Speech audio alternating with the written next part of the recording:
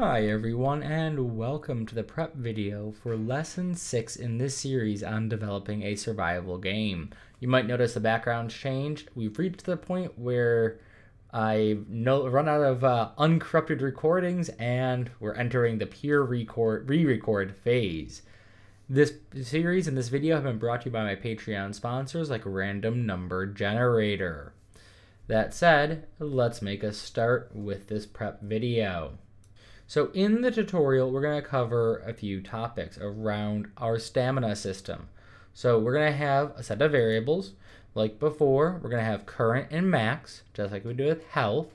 But we're going to have a stamina timer, because we're going to use a timer to reduce or increase our stamina depending on particular situations. And I'm going to go over in this video, this prep video, the differences between a tick and a timer very, very briefly, because there's a lot to get into on that topic. And there's a lot of debates on that topic as well. We'll also have a sprint stamina cost.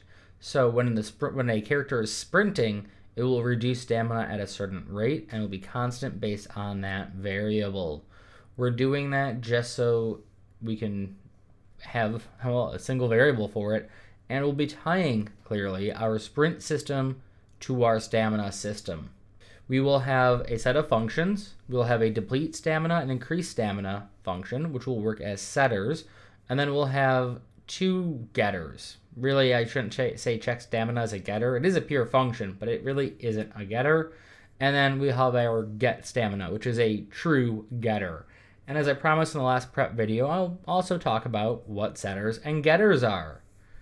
And we'll have an implementation of our system using timers, as I've already mentioned. And this is something that just loops over and over again based on a timer. Not all timers loop. We will make ours looping by hitting a little checkbox that says loop. So let's get started by talking about ticks and timers. So, ticks. When usually when we're talking about ticks, we're talking about the event tick, as you can see in the picture under the word there. So, what is a tick? A tick is an event that fires at a specific rate. And in this case, it is every frame, which means the refresh rate is the key thing here. It is refresh rate dependent. And there are ways that you can control for that.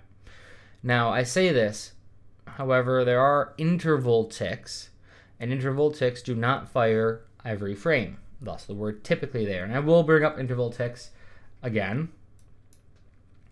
So you might have heard ticks are bad.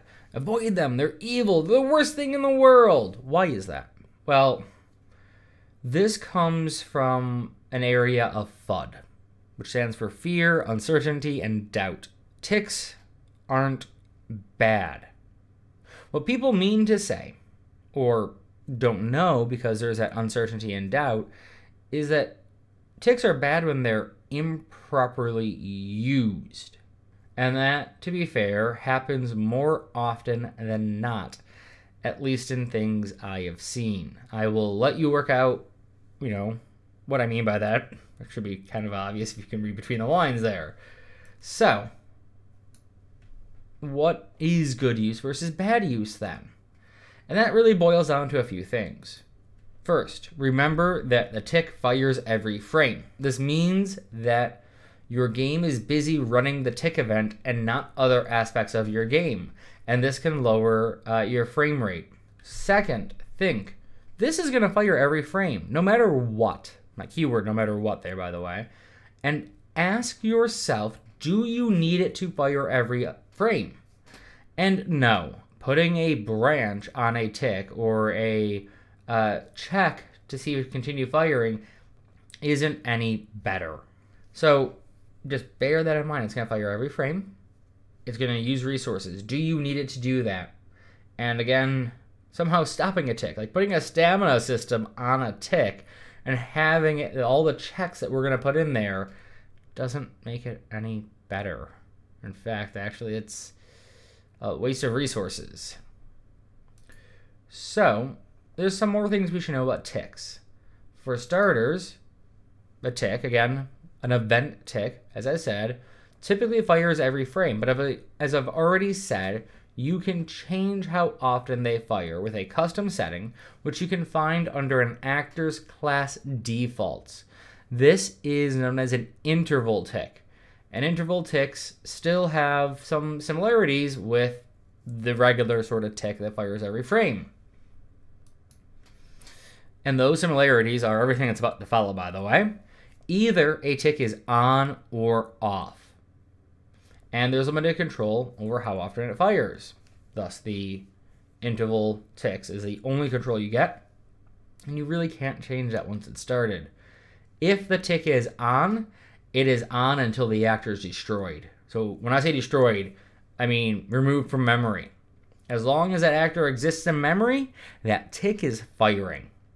If assuming the tick is on. Some caveats to remember though with ticks. AI ticks work differently, at least in Unreal. They from my understanding of them and the documentation I have read, and I am going to double check this after as we get towards the AI section, they do actually cease firing when when they're asked to cease firing. They they can be destroyed without destroying the actor, and you can create them differently in C++. And in fact, honestly, I'm going to say in a minute or two that you should use uh, ticks in C++. When I say should use in C++, I mean if you're going to use a tick, do so in C++, not in Blueprint. One of the things I've seen often said in forums, if you're doing ticks, go wild if you're doing them in C++.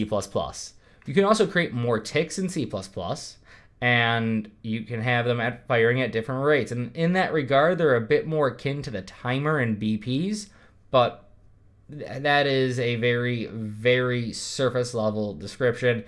And I'm sure every programmer who knows about ticks in C++ and Unreal just kind of clenched and cringed at me a bit.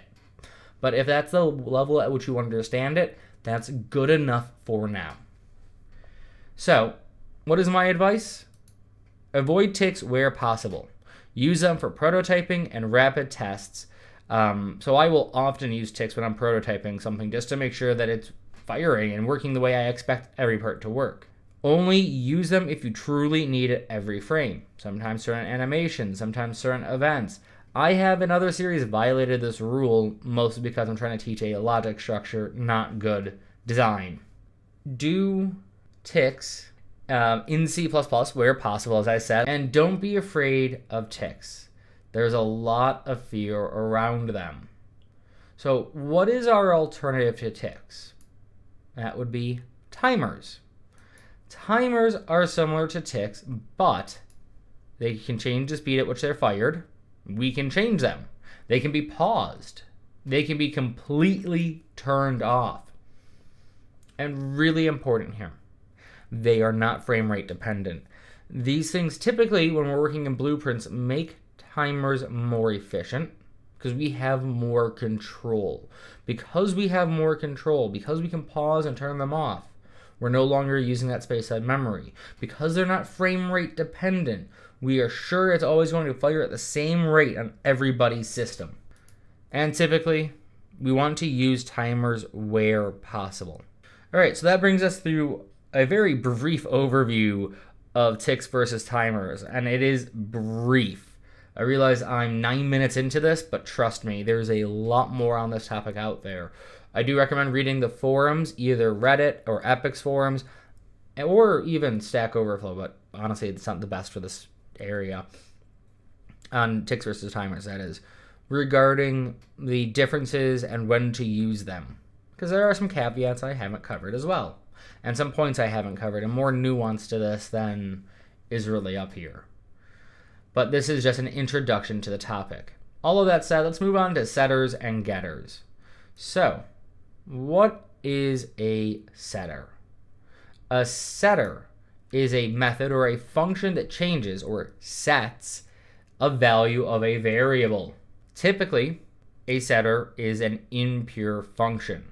An impure function is used when you're modifying a variable's value or state or running a calculation where you're going to set something. It has an input or an argument that goes into it. And you can sometimes directly set a value with this argument. So you have a set health variable. And all you do is you take your health variable and plug the input pin into the, or the set pin into the input node of a function. And you put, say, the value 50 in, whatever your health is, it's going to be changed to 50. We haven't done that. We've done the other method of setting, which is where we modify a value. So think of our health system. We put a value in, we either add or subtract that from the current health, and then change the current health to that value. So those are two different methods of setting a value. You can see in one there's a calculation, per my earlier comment on impure functions with calculations. Next, we have getters. And what's a getter? Well, a getter retrieves or gets information about a variable. Typically, and I do stress typically because we will be using impure getters in this series, but we'll talk about that in video 9's prep. So a pure function does not modify a value. A pure function can also be used for getters, as we're doing here, or used to output a value. So our check has stamina is actually outputting a value. It's outputting a true or false based on a float's value.